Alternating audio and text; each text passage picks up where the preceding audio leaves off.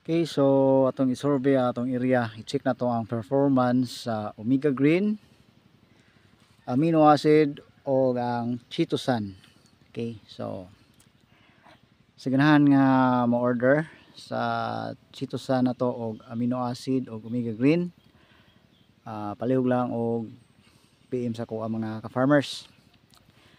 Mungtana kung kinsa ni si chitosan, mo siya ang biostimulant nga maoy motabang og duot sa abono padung sa tanom silbi ang biostimulant nga chitosan mga ka-farmers mo siya ahinti ba sa abono nga mas mapadali og mas paspas ang epekto sa tanom mga ka-farmers kung nakay biostimulant nga gitawag og chitosan.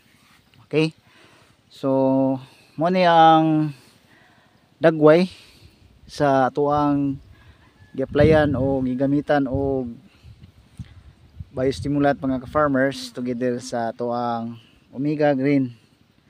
Unya first pag natuning pakaon mga ka-farmers nga katong time nga nag-video ta niya at imaginon nga first pang pakaon then inani ang dagway. So wala ta nag wala ta ni gamit og synthetic fertilizer. Sa una nga samtang napa siya sa 20 days pataas diri na ta ni pakaon sa ah 30 plus days mga ka-farmers. So dilid gid siya kung imong i-analyze. Pero kita kung mga ka-farmers ah, di man kita ingon nga pataka lang tagpakaon sa tong tanom bisan pa og ah, dili pagid siya ang ngayan nga pakanon tungod kay ah, daghan pagid siya og abono nga atong makita sa atong tanom. So karon amo si ato siyang gigamitan kay medyo delayed na magin sa atong pangagpas.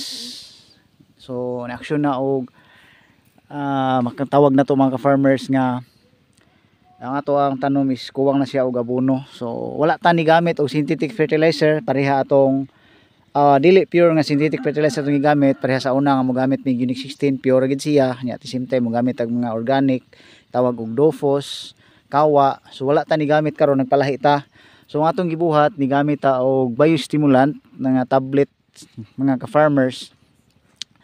Dayon gisagulan nato siya og 2 kilos per drum sa Unique 16 so 2 kilos per drum. Then ato siyang gi pakaon tag sa kalata sa ah lata sa ah, paliya mga farmers itong 500 kabok sulod. So karon mo ni ang dagway. So so far so good. Mag repeat purchase ko. So di na kay ko gamit karon og synthetic fertilizer mga farmers nga pure good. So sa gula na to siya.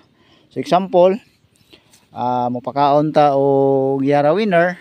So si Yara Winner alone ang trabaho niya is na siya phosphorus, ah, nitrogen, phosphorus o potassium. So saya lang nga kagalingon nga abono mga ka-farmers makaon siya sa tanom pero